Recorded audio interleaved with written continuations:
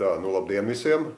O, Sergejs ir mans aizstāvis, un es o, tagad o, esam atgriezušies o, birojā o, no PVD, un es gribēju paskaidrot, o, kāda tur izveidojās situācija. O, es o, esmu pārstāvis uzņēmumu dzimtais dārs jau astoņus gadus. O, pret mani un pret šo uzņēmumu ir ierosināts iepriekš jau piecas administratīvās lietas. Par tādiem pārkāpumiem, kas šķiet nu, cilvēciski nesaprotami. Jā, piemēram, par ciedru sveķiem, par to, ka tas nav pārtiks produkts un ka viņi nevar izmantot pārtikā nekādīgi. Par to, ka ir dažādas tējas, kas ir dabā savācamas, bet viņas ir jāreģistrē un par to ir jāmaksā simti, simti eiro. Par to, ka produkti, kas, kas ir dabīgi, kas ir, kas ir būtībā dieva radīti un kas ir domāti tieši cilvēkam, lai viņš būtu veselāks, lai viņš būtu jūtīgāks, lai viņš apzinātāku dzīvi dzīvotu, ka viņus nedrīkst tirgot vienkārši, kad ir vajadzīgi, kad ir jāpārvar milzīgi daudz birokrātiskās barjeras. Visas šīs ierosinātās lietas es esmu o, izgājis cauri, es esmu aizstāvējis savu viedokli, es esmu to pierādījis ar dažiem dažādākiem dokumentiem, ar ekspertu slēdzieniem, ar o, iepriekšējā vēsturē izman, izmantotajām, o, izmantotajām pieejamajām o, iespējām. Un, o, piemēram, tie paši ciedru sveķi, o, vēsture viņiem ir jau, o, viņas stiepjās 6000 gadus. Ja, Zaraustra pat, pat izmantoja ciedru sveķus, lai pātrinātu, lai, lai, lai, lai savu jūtīgumu izmainītu lai viņš varētu, lai viņš varētu saskarties ar dievišķo. Un viņi ir visu laiku, visos gadsimtos lietoti uzturā, lai, lai cīnītos ar infekcijām organismā. Ja organisms ir izbalansējies, tas ir pirmais un, un ideālākais produkts, kurš šī, šīs infekcijas atkal o, o, sabalansē. Un es visas šīs lietas esmu pārsūdzējis, es esmu griezies administratīvajā tiesā, Bet PVD vienmēr ir, protams, uzvarējis. Un man ir nācies maksāt uh, daudzus tūkstošus soda naudās. Tā kā šoreiz es uh, vienkārši izmantoju iespēju, kad uh, ir Sergejs, kurš pārzina administratīvā procesa likumu, kurš ir gatavs iesaistīties pilnībā šajā lietā, un mēs šo lietu gribam detalizēt, izanalizēt, Jo, protams, ka PVD ir ar mērķi, ja būtībā šī pārbaude, šī kārtējā pārbaude, ir ar mērķi, lai man uzlikt naudas sodu un lai viņi papildinātu savu, savu tā teikt, maku. Ja, šodien nebija, nebija mērķis šo sēdi atlikt, ja, bet, bet tā kā likums paredz, un Sergejam tomēr dzimtā valoda ir Krievu valoda, Ja, lai viņš varētu dziļāk iedziļināties šajos, šajos notikumos, un tur būs vēl jāraksta daudzas desmitu lapas puses ar dažādiem skaidrojumiem un ar dažādiem iesniegumiem, jo es domāju, ka šī lieta noteikti aizies arī uz administratīvo tiesu, ka tomēr sots tiks uzlikts, kaut gan, kaut gan mēs uzskatām, ka šis sots būs nepamatots, jo viss, ko viņi prasa, es to gan, gan pagājušo reizi, gan vēl papildinājums biju atnesis šoreiz. Tā kā o, o, Sergejs tagad jums izstāstīs arī o, o, savu viedokli šajā jautājumā. Да, помимо, помимо того, что моя задача защитить Эдварда в конкретном деле, я своей задачей вижу еще, чтобы должностные лица, наши социальные инструменты, да, и я, будучи как э, источник власти, Вара Савус, да, а, я хочу, чтобы мои, наши социальные инструменты действовали по, ну, скажем так, нами разработанной схеме, чтобы Эдварда, если он виновен, да, чтобы его, ну, соответственно, ну, наказали то, как, как мы это видим, как мы прописали в законе, что было на основании закона – и в установленном законе порядке. Да? То есть, если виновен, ответит по нашей схеме, не виновен, соответственно, но все должно, то есть со стороны социального инструмента все должно происходить так, как мы им прописали. Да? То есть я еще хотел бы сказать, чтобы э, в очередной раз сказать, что все должностные лица, будь то полиция, будь то прокуроры, будь то судьи, будь то работники, в данном случае Патикас un ветеринара dienas, да, а, они все есть, а, а, как сказать, кадровый наполнитель а, наших социальных инструментов.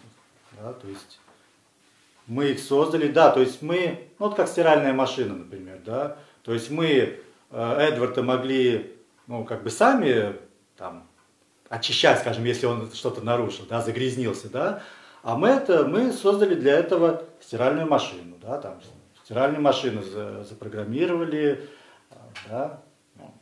То есть, ну, мои, моя задача вот и защитить Эдварда в конкретном деле, и заставить должностных лиц, чтобы они действовали на основании закона и установленным законным порядком. Nu, Jā. Un vēl es gribēju piebilst, ka jūs visi redzējāt, kad arī PVD priekšnieces vietnieks atzina, ka viņš nezina likumdošanu. Kad, tātad viņa pirmo reizi saskarās ar to, kad ir jāievēro tiešām administratīvā procesa likums. Viņi, viņi, nav, viņi ļoti sen viņu nav atkārtojuši. Kaut gan būtībā, ja es ieņemtu, nu, es tā no sevis vienkārši skatos, ja es ieņemtu PVD priekšnieku vietnieku amatu, tad es katru rītu, tā kā es ar saviem pienākumiem darbojos, es sev atgādinu, es pārskatu, kas man ir jāzina un kas man ir jādara. Ja es atgādinu, jo tāpēc, ka es varu pat dažu dienu laikā, teiksim, kaut ko piemirst. Es noteikti pārskatītu administratīvā procesa likumu un neierastos Tā it kā es desmit gadus būtu pieļāvis administratīvā procesa likuma pārkāpumus. Viņš šobrīd bija tā ieradies, kad, kad kaut kas neiet tā, kā viņš ir pieredzējis. Kad administratīvā procesa likums nav jāievēro. Tā kā mēs šī tieši procesā centīsimies panākt šī administratīvā процесса ликум ievērošanu. В данном случае я хотел бы подправить не административный процесс, а Латвийс административный паркопому кодекс. Он, То есть это дело, ну, в данном случае дело рассматривается на основании э, Латвии Садмиса Паркового кодекса, кстати, в котором э, должны применяться принципы уголовного права. То есть э, э, все должно быть э, расследовано, исследовано с такой же тщательностью, э, как это происходило бы в уголовном процессе. Да, то есть да. любые доказательства, любые... То есть нельзя просто отнестись так, что, а, ну мы думаем, что он виновен, и поэтому ему штраф. То есть любые дела, где есть э, либо денежное наказание, либо арест, ну в данном случае здесь да. не планирует, ну статьей не предусмотрено, да, э, а, все э, должно рассматриваться, ну как бы по принципу уголовного права. То есть ну, грубо говоря, с той же тщательностью, как это происходит в уголовном процессе. Jā, un, un arī tas, ka PVD funkcija ir nodrošināt drošu un veselīgu pārtiku. Šobrīd PVD ir uzņēmies pilnīgi citas funkcijas. Viņš cenšas nodrošināt savu izdzīvošanu un, un, un naudas iekasēšanu no uzņēmumiem, arī no pilnīgi nelieliem uzņēmumiem. Bet galvenais ir kaut ko iekasēt. Jo tā kārtība, kāda tiek pieprasīta, viņa ir izlīdzināta gan lielajiem uzņēmumiem, gan mazajiem uzņēmumiem. Un mazajiem uzņēmumiem ir daudz grūtāk izpildīt un sagatavot visu šo dokumentāciju. Bet tas tika izdarīts, tāpēc, ka tomēr to prasa likums. Tad, kad mēs tiksim pie likuma mainīšanas, tad tas tiks izmainīts. Jo nevar būt uzņēmums, teiksim, Rīmī vai Maksima, un mazs veikaliņš ar, vienādiem, ar vienā, vienādām prasībām ar, vien, ar vienādiem dokumentiem. Jo mazā veikaliņā, kur ir pāris simts dažādas pozīcijas, ir daudz vieglāk to visu kontrolēt un daudz vienkāršāk tam būtu jānotiek. Jā, un pat cik Sergejam dzimtā valoda ir Krievu valoda, jā, tad mēs tomēr lūdzām, un es izvēlējos Sergeju kā savu aizstāvi. Jā, mēs lūdzām šo tulku nodrošināt lai būtu precizitāte šai lietā.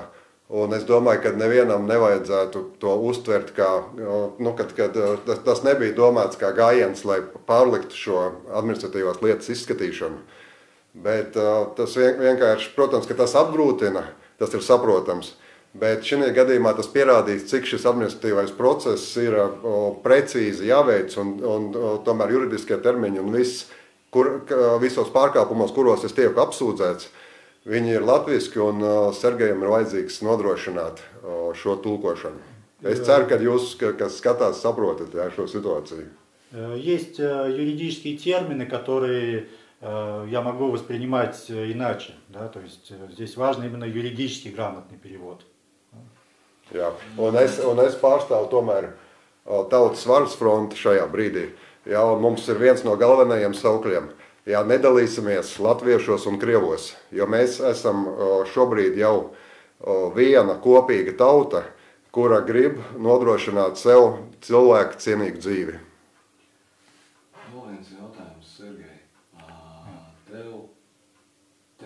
Arī dokumentus nepaprasīja. Kas tas bija? А, Да, меня это тоже удивило, что э, во- вообще выглядело это примерно так, вообще и по поводу документов в том числе, что вначале был отказ. Вообще, то есть кто такой, нет, нельзя. Потом вроде бы уже можно, мол, мы вас не выгоняем. Потом э, по поводу, ну, короче, получалось так, что они, им нечем аргументировать. То есть, когда речь начинается о законе, о норме права каком-то, им нечем, аргумен- ну, нечем аргументировать. Vai tas nozīmē, ka sanāk tā, ka PVD nemaz nezina to likumdošanu, kuru, pēc kuras viņi it kā soda šajā gadījumā uzņēmējs? Однозначно, даже его фраза о том, что нужен какой-то юрист, о каком юристе еще идет речь, если ты приходишь рассматривать дело, и ты должен от А до Я знать или читать, неважно, да, там никто не говорит там из головы, но действовать на основании закона. Если тебе нужен еще какой-то юрист, ну, может быть, э, ты некомпетентен тогда рассматривать это дело. Может быть, ты должен все-таки признать это и, ну, может быть, даже отвести себя от рассмотрения этого дела. Jā, tas bija tiešām ļoti būtiski, kad nu, šis PVD o, priekšnieces vietnieks viņš to apstiprināja pats, ka viņš ir nekompetents būtībā vadīt šo administratīvo lietu. Jā, un noslēgumā tad vēl viens jautājums emocionāli. Nu tā, kā tu pats, kā jūs paši jutāt, es personīgi pēc tam varu savu viedokli arī pateikt, kā, eh, ko šodien nozīmēja? Nu, pirmkārt, jau es biju izbrīnīts, kad o, o, viņš o, saskārās ar o, jaunu situāciju, kur, o, o, ar kuru viņš nebija gatavs saskarties. Un kad viņš o, nolēma, ka šīs procesuālās tiesības ir jāievēro un ka šis tulks ir jānodrošina. Tā kā nu, būtībā es esmu gandarīts, kad mēs mazu solīti o, pagājām uz liku, likumīgas lietas izskatīšanas pusi. А, Я думаю, что проблема, проблема получается в том, что а, мы, мы сами, то есть те, те, те люди, которые, при, скажем, приходят на рассмотрение дела, ну, в похожей ситуации, они, скажем, э, не зная закона, и получается, что они просто привыкли действовать, э, ну, так, как они обычно действуют. То есть никто от них э, как бы не требует по закону. И для них это э, стало таким, ну, как бы открытием, что, оказывается, есть закон и нужно действовать по закону. Jā, un noslēgumā es vēl laikam pā- pāris vārdus. Es zinu, ka man redz, vismaz daļēji.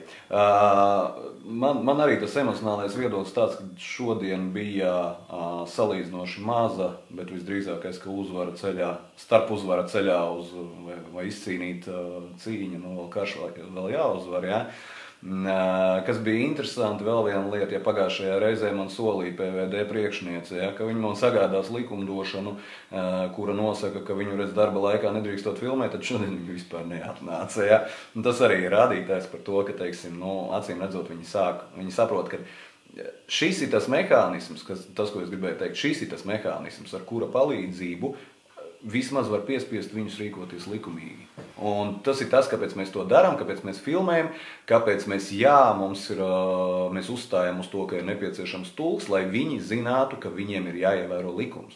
Nevis tāpēc, ka mēs te tagad gribētu sarīdīt kaut kādus krievus latviešus vai vēl kaut ko tam līdzīgu. To jau dara politiķi nu jau 30 gadus. Paldies! Я бы, yeah. если возможно, еще добавил. Mm-hmm.